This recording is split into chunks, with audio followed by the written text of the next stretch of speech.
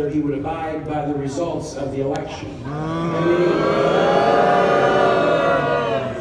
there's a word for that. It's called sore loser. Ah. Sore loser. But it, but it, is also kind of not a laughing matter. I, I was a missionary in Honduras 35 years ago, in 1988. Ah.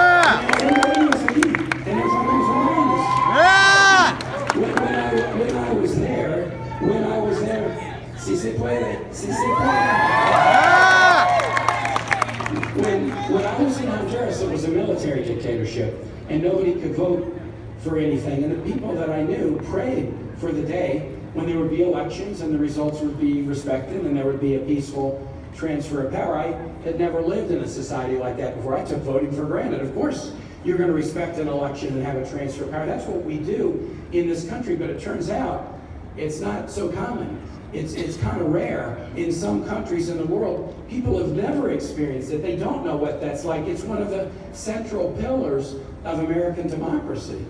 So when Donald Trump decides to attack that, you know, what I thought when I heard him say it was this. Here's a guy who's run a divisive campaign from the very beginning. He ran his first, in his first campaign speech, he said Mexican immigrants were rapists and criminals.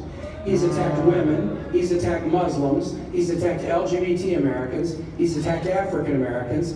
He's ridiculed a disabled reporter. He attacked uh. John McCain. John McCain said you can't be a hero because you were a POW. That you, you can only be a hero if they don't capture you. He, he went after he went after a Virginia family, the Khan family, who have a who are a Gold Star family. They lost their son, who was trying to save other people's lives in Iraq, and Donald Trump went after them. And it was like he got to the end of the campaign, and he had insulted every group that he could. What was left to insult? A president who won't defend our democratic institutions and traditions, well, it, that person is not worthy. That's uh, not worthy to be president. And that was a powerful moment the other night. Yeah!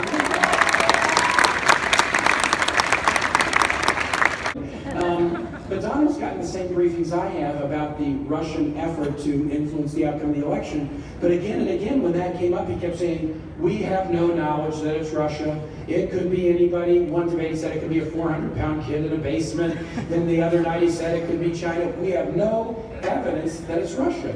He wouldn't acknowledge what our own intelligence officials are telling him. So put those two facts together. He won't defend American democratic traditions. He won't condemn a foreign nation that's trying to influence and destabilize an American election. There's something very, very weird about that. It's the sore loser thing. If you know you're losing and you think you're going to lose, then you've got to have an excuse because, Lord forbid, you could never take responsibility for it yourself. I mean, you know that the day after the election, if Donald Trump loses, he's not going to say, maybe I shouldn't have run the most divisive campaign in modern history. Huh, there's a lesson for next time. I, I don't think he's going to do any soul searching and reach any conclusions or take any responsibility, so it's got to be somebody else's fault. And that's the pattern that he has. Hillary dinged him on it the other night um, because when he when The Apprentice one year was up for an Emmy and lost, he said the whole thing is rigged. Poor Donald Trump, the billionaire that the world has decided to rig it all against him. It's always got to be somebody else's fault. The country stepping forward and saying, hold on a second, we know how to run elections. Most states have Republican secretaries of the electoral board or secretaries of state that run elections. They're coming out saying this election is going to be fair. But if you needed just one more reason to turn out and vote, in addition to the differences between the candidates, let's take all this claim about rigging and sore loser stuff, and let's turn out in record numbers and send the biggest, clearest message that we can.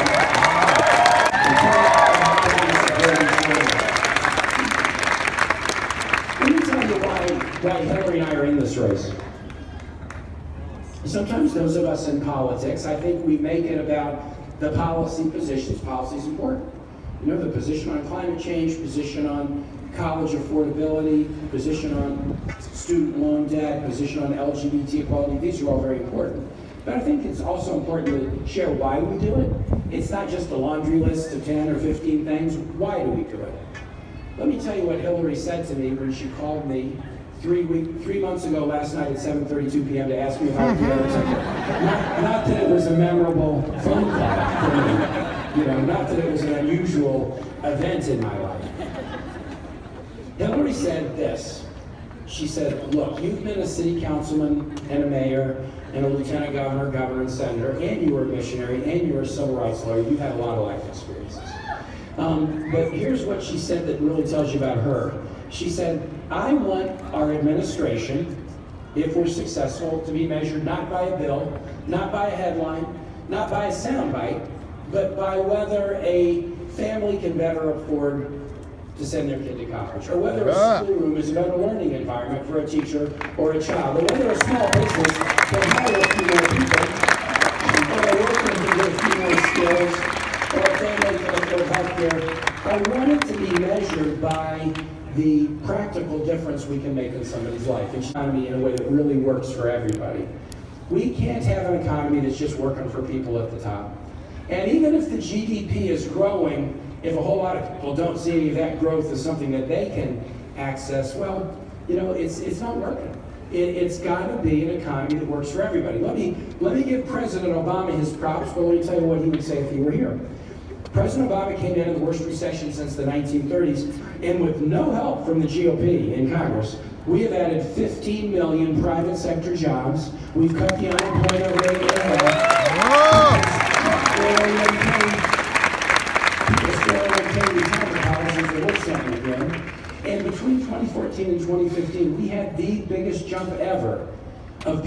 moving from poverty up into the middle class. The biggest jump in any single year ever.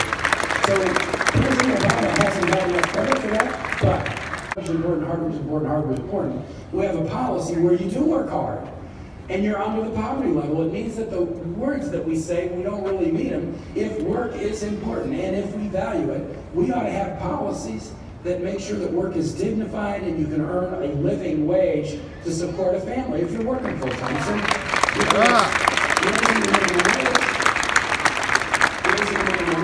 or equal pay for women, for God's sake. Yeah.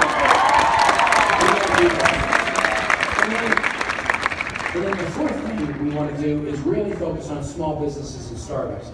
Gainesville's a good community for this. Richmond's a good community for this. 65% of new jobs in this country come from startup and small businesses. And so if we have to have policies that are really focused on jobs, let's make it easier to start a small business, to get the capital to grow a small business, to hire employees into a small business, to buy health insurance for your employees if you're running a small business. And this is what Hillary and I are going to do. I'm very worried about it. Um, Florida and Virginia have some similarities because we're both seeing the effects of sea level rise. The um, Hampton Roads area, Virginia Beach, Norfolk, Chesapeake, Suffolk, um, Virginia Beach area. You can't solve a problem, you can't eliminate the problem if you're refusing to acknowledge you have a problem. That's the problem with the other guy. So on this one, and I think especially with millennials, I have three 20-somethings. I've got an infantry commander in the Marine Corps and two artists. Um, they, especially, they, they all care deeply about this, but especially my artists who don't care about any other issue in, in politics. They're like, Dad, what are you doing about climate change? And it makes sense if you're living your 20s and 30s and you're projecting forward, and you're probably going to life expectancy to 90 or 100 if you're this age right now. Stewards of this beautiful and diverse planet, and Hillary and I will do that. Very, very important issue. Very important. put equality first. All men are created equal. Now, we know something about them. They put equality out as the North Star, but they weren't living equal. They really couldn't even completely conceive of it because all men are created equal, right? So that, that's, that's a sentence that right in the sentence contains like this kind of cognitive dissonance. But the good news about those folks was, even they were very flawed, at least they picked the right value. I know that there's another nation that says that is the value. Equality is our North. That's who we are. That's who we are. And um, how, how can you match these up and so bloodshed Civil War, rewriting the Constitution to make ourselves a little more like who we promised we would be. And then 50 years later, this is who we said we were going to be. Women can't even have the right to vote? I mean, how can we? So that we change the Constitution before it gets to the mid 60s. This is who we said we would be, but there's all kinds of rules that keep minorities from voting or housing or employment. So we got to pass civil rights acts to make sure that people are equal so we can live more like we said we would. Ah. Like we said we would. Yeah. Your generation. It's, it's in your generation that helped the nation wake up and say, hey, this is who we said we would be when LGBT folks are not being treated equally.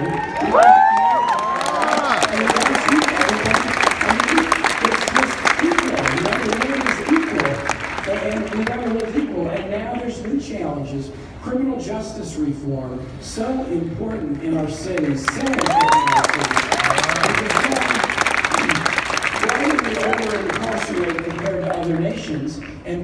stats of our incarceration so skewed against minorities? There's an equality issue that we have to tackle. We gotta make sure Yeah. we gotta make sure we keep moving forward on LGBT equality. Donald Trump and Mike Pence, they want to put Supreme Court justices in who will go backwards. In Honduras, we used to say, "Adelante, no atrás." I want to go forward. I do not want to go back. We gotta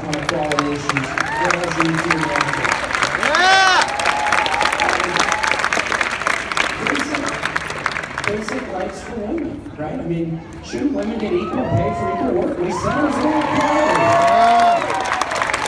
Shouldn't women get to make their own healthcare decisions and choices just like men do?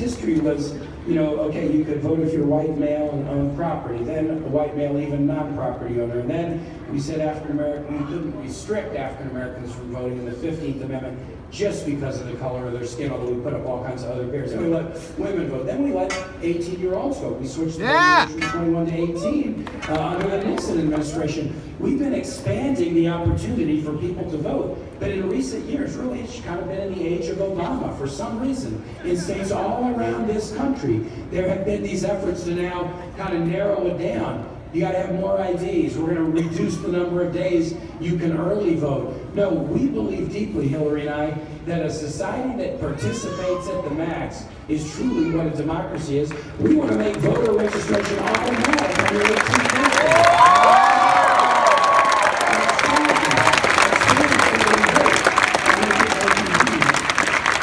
So, on equality issues, this is something that we're battling for and that you support. I said I talked about college, and the mayor talked about it a little bit too.